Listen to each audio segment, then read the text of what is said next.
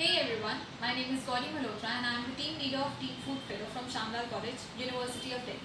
According to a report, a family in India wastes around rupees 89,000 a year on food, which can fill a bill that can extend up to 3 kilometers. An NCBI report says that the food provided in shelter homes and midday meals lacks in nutrition.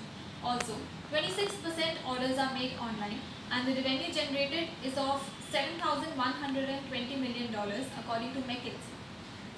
Everyday sale by a restaurant is often impossible and as a result they often uh, suffer loss and there is unnecessary wastage of food.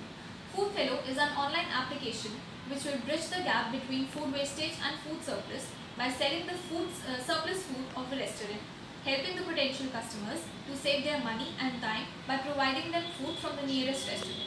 Food Fellow will also try to provide numerous services to their merchants and customers such as food stamps, restaurant as to gain and uh, maintain their loyalty as well.